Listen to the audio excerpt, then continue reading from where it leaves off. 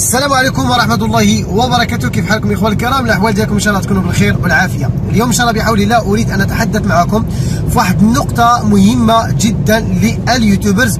وطبعا أنا سوف أتحدث معكم في هذه النقطة وأنا في جولة آه، في طريقي إلى مكان آه، معين وأريد أن أقوم بتقديم نصيحة لكل ال YouTubers الذين يطالبون بالاشتراك أو يرسلون طلب الاشتراك للأدسنس من أجل أن يتم الموافقة في اليوتيوب.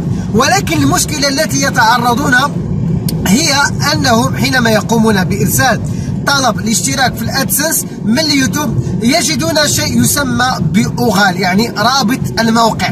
فهنا يبقى محير لأنه هو YouTubers وليس مدون. إذا من أين سوف يأتي بهذا الدومين هذه نقطة في الحقيقة تبقى مشكلة لدى العديد من ال YouTubers. ولكن المشكلة أنت من قام بارتكابها. لماذا؟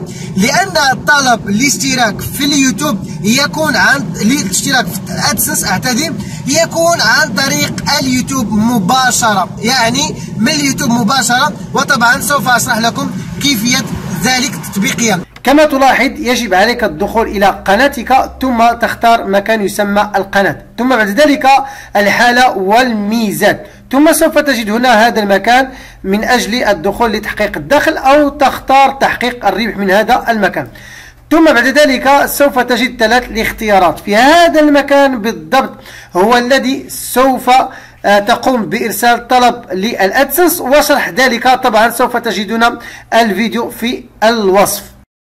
أما أن تطالب بالاشتراك في اليوتيوب عن طريق أو طالب الاشتراك في الأدسنس عن طريق آه الأدسنس نفسهم من محرك البحث فهذا خطأ من الأخطاء التي ترتكبها. لماذا؟ لأن طلب الاشتراك من الأدسنس مباشرة فهو يعني من المقصود أنك تريد طلب الاشتراك للمدونة. ولكن عندما تقوم بإرسال طلب الاشتراك في الأدسنس من اليوتيوب نفسها فهنا تقول له أريد أن أقوم بفتح حساب أدسنس في اليوتيوب. هنا فقط أين يقع المشكل؟ وأعتقد الرسالة وصلت وبينة وواضحة وتتمنى إن شاء الله يعجبكم الفيديو. لا تنسى الاشتراك والإعجاب ومشاركة الفيديو مع الآخرين.